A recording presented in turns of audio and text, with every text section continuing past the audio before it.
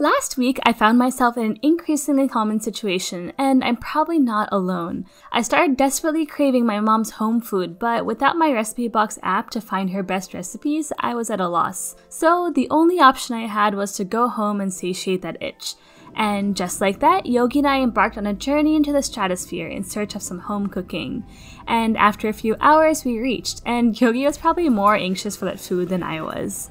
As always, I was hanging out in the kitchen the whole time. Due to my nervousness around pressure cookers, I watched from a safe distance as my parents fiddled with a device to make pongal. And a few whistles later, lunch was served, what we had traveled far and wide for. Okay, okay, so of course I didn't go all the way home just in search of home food. But I had just started working on my recipe box app, and all that thinking about food and my parents teaching me how to cook made me miss home a bit more. So let's rewind a few days and see what I actually accomplished with my recipe Box app. When I was designing this project, one of the biggest questions I had was which stack to use, and I stuck with the most unfamiliar alternative, Flutter. After I committed to this potentially regretful decision, I wanted to set up some tools to track my progress and hold myself accountable. First, I made a list of milestones to stay on track for the completion of the MVP.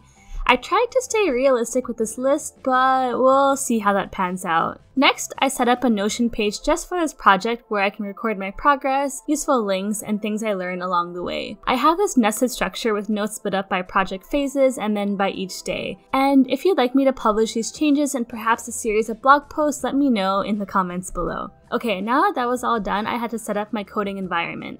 So I finally upgraded my OS after months of incessant nagging, installed Xcode, installed Flutter, revamped the look of my VS Code, and finally set up Oh My Zish. Or is it Oh My ZSH? I'm not really sure. And finally, I set out to learn Flutter.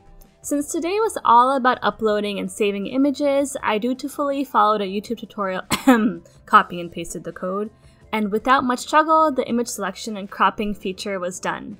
I loved how plentiful the library of open source widgets is for Flutter. With just two widgets and a few lines of code, the entire feature was done. Then, to store the pictures, I stuck to what the tutorial suggested, using Firebase. The tricky thing with Flutter is that you actually have to set up everything for both iOS and Android environments manually. So here, long story short, I got stuck in a rabbit hole trying to set up Firebase on iOS because I overcomplicated things for myself more than I needed to. But after a few hours, it was up and running, and the upload feature was pretty easy to implement after that. One thing I realized was that these tutorials aren't made for production level code. For example, here images are saved to Firebase without any additional precautions for user security. So I, as the app developer, can easily see everything my users are storing. And this is okay for the sake of a demo, but in my case, copying and pasting won't be sufficient. But don't worry, we'll revisit this point in a bit. And here's a quick demo of how everything looks after day one. So I can choose to take a picture or upload one. Then I can crop it as I wish and upload to Firebase in just a few seconds. And with that, our two milestones of the day can be checked off. On to day two. My two milestones were to display those images that a user uploads onto the app and implement the OCR API, which stands for Optical Character Recognition. This will help us read the text in the screenshots and allow us to later search for the contents of a recipe in the search bar. But before I even got started with those two tasks, I wanted to fix some of the UI. Following what Flutter coincidentally calls recipes, I added a simple drawer and header so we can freely navigate around the app. Then I went on to creating the image grid. I used a combination of the grid view layout paired with the card component to get some nice shadows. While the UI worked, the real challenge came when I had to find those images to display. You see, in all the tutorials I found, the developer already knew the file names they wanted to list. However, in our application, we used a more complicated naming scheme, and in that case, there was no built-in method within Firebase to retrieve all images in a folder. So I had to do this really janky thing and had the pubspec.yaml file reference an uncommitted branch of Firebase storage with this fix.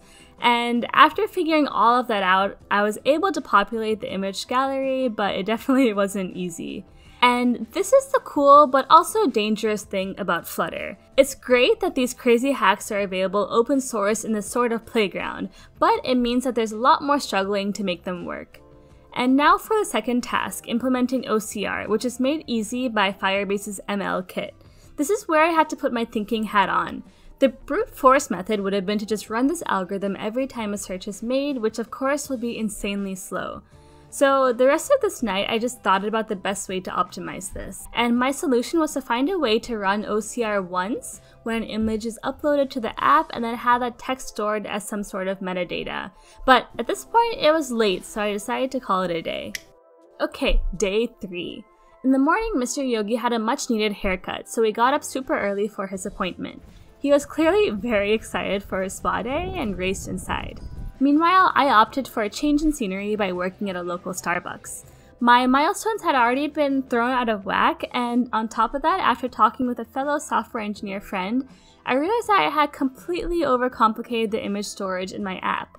Instead of having to worry about security and potentially having to pay for storage with Firebase, I could just store each user's image locally on their device. That would be so much easier.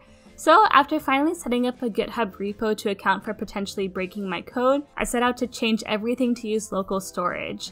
And surprisingly, there was a lot less documentation on this since almost every tutorial was catered towards Firebase. But after about an hour and a half tinkering with the code, I was able to figure it out. But then I quickly had to run, and that's because I had an appointment to go sari shopping for an upcoming wedding. I felt super adult sari shopping by myself, especially since as a kid I'd usually fall asleep at the shop. But after about an hour, I selected a sari each for my mom and myself, and then quickly headed over to pick up my spruced up yogi and almost immediately after reaching home, I ended up getting really chilly and collapsing in my bed. And from here on out, I was pretty much knocked out cold. However, I did manage to get outside to scribble in some of the freshly fallen snow from the night before. And the rest of this day, I just slept and watched Parks and Rec on Netflix. And on what would have been the day that I finished the first round of my MVP, I was still stuck in bed under three layers of blankets. Luckily, I got better just in time for our trip home. And that catches us up to the eventful weekend at home. While I wish I could have accomplished more last week, I'm proud of how at least my app looks. I'll be spending the next week polishing up those remaining features for the MVP, and we'll have another update next week with my progress, so stay tuned for that. And if you like the style of devlogs and want to see more, please give this video a like and a subscribe. And I'll see ya in the next one.